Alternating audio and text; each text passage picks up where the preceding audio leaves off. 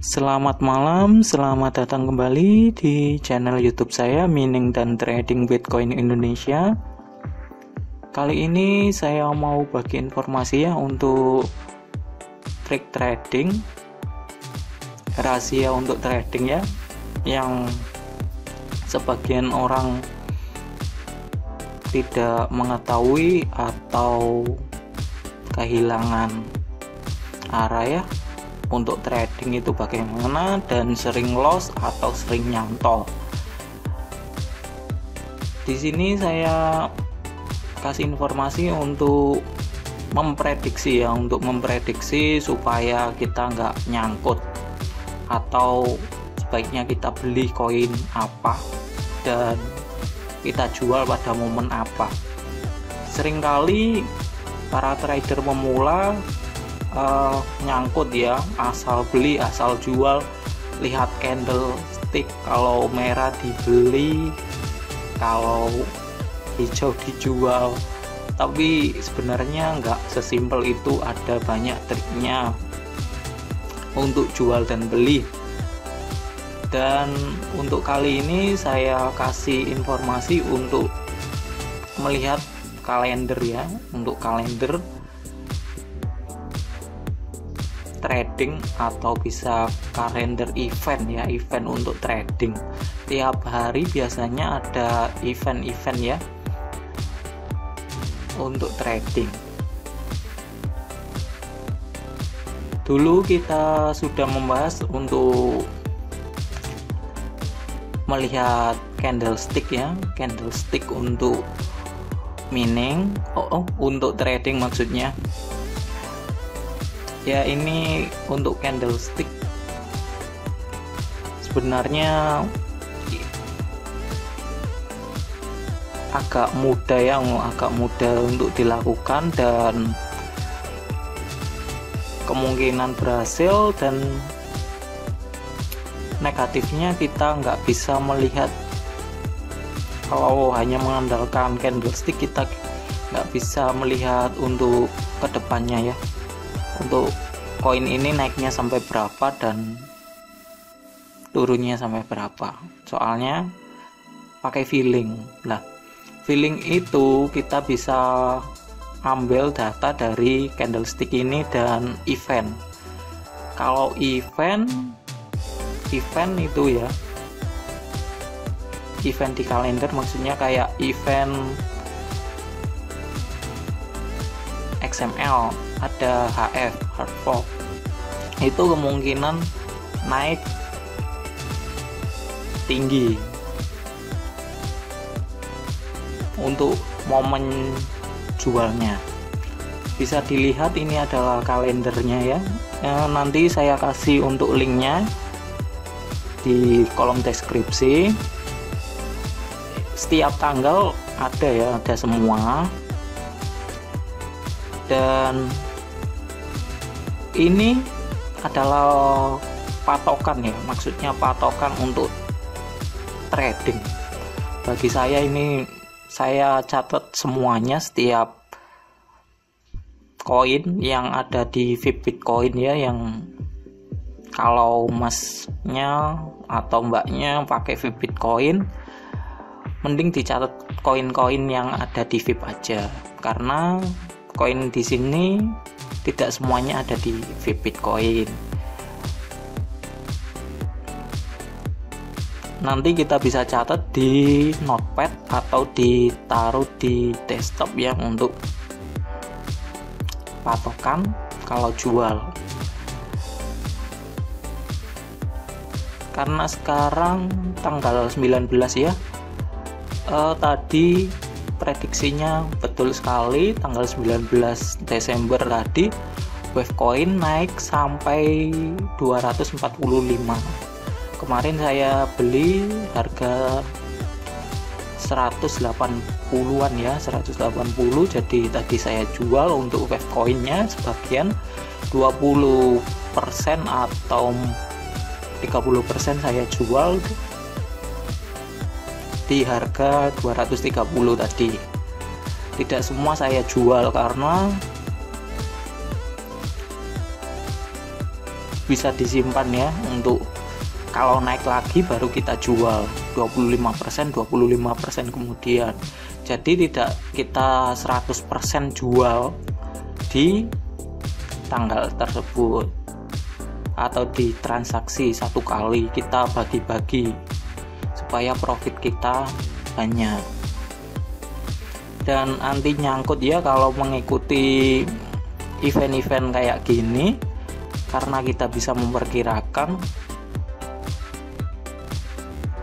untuk koin apa yang dibeli dan momen yang paling tepat untuk dijual. Itu gunanya. Dari kalender trading ini. Nanti dicatat setiap tanggal.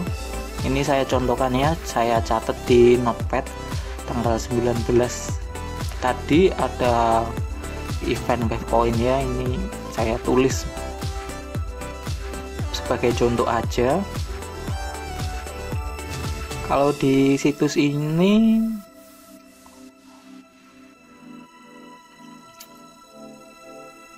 kemungkinan valid ya karena saya pakai ini dan teman-teman saya yang trader juga pakai ini. Ada beberapa situs untuk kalender ya.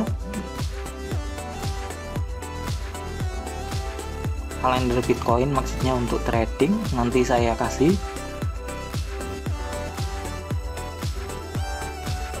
Nah ini sudah saya catat ya. Untuk trading tiap bulan. Tiap hari usahakan atau dua hari sekali ya lihat untuk kalender trading karena bisa berubah-ubah. Seperti kemarin itu ETC nggak ada HF ya. Jadi nggak jadi HF maksudnya HF nya satu kali. Jadi nggak bisa jual. Maksudnya nggak obit banyak lah.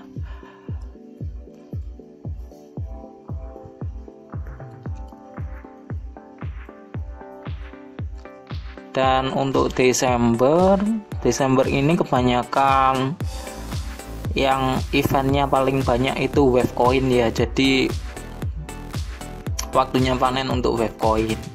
Jadi nggak semua dijual lah tunggu dulu karena banyak event.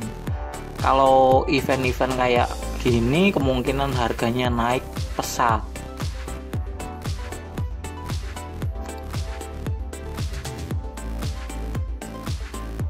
Yang banyak Bitcoin sama Bitcoin karena Bitcoin mengeluarkan Bitcoin Platinum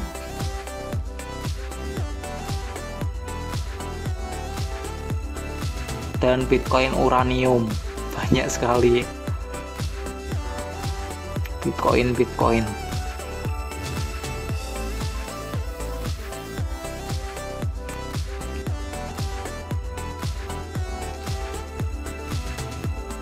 Jadi kita nggak kehilangan arah kalau mengikuti kalender ini dan candlestick ya candlestick itu digunakan untuk jual dan beli. Tapi kalau trading sih mending jangan lihat harga terus menerus ya karena bikin kacau juga untuk kalau turun-turun banget itu agak galau gitu. Jadi sebentar-sebentar saja untuk melihat.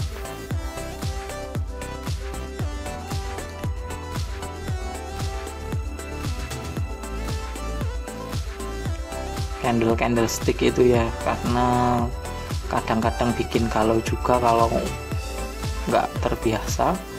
Karena ada waktu down-down banget ya untuk koin pas kita beli tinggi terus nyangkut agak kesel juga.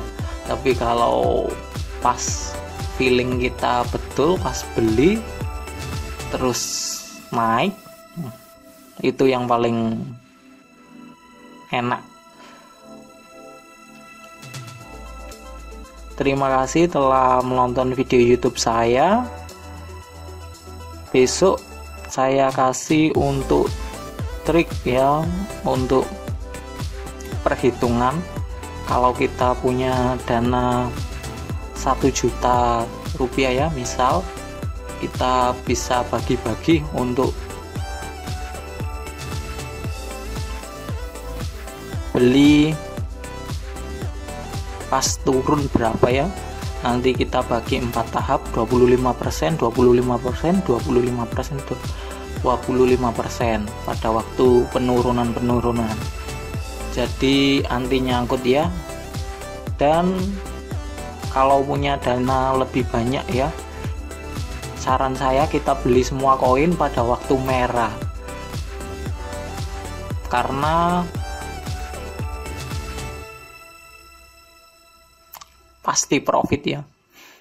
Tapi kalau dananya sekitar 100 ribu atau 1 juta agak kecil ya untuk profitnya. Tapi kalau dibagi semua maksudnya tapi untuk permulaan dan untuk belajar tidak ada salahnya untuk mencoba. Hmm, kalau ingin aman taruh aja di Wavecoin dan bulan nanti pada bulan akhir bulan kita jualnya biasanya naik dua kali lipat. Kalau HF itu. Atau enggak dua kali lipat lah. Separuh lah biasanya terima kasih telah menonton video YouTube saya dan semoga membantu ya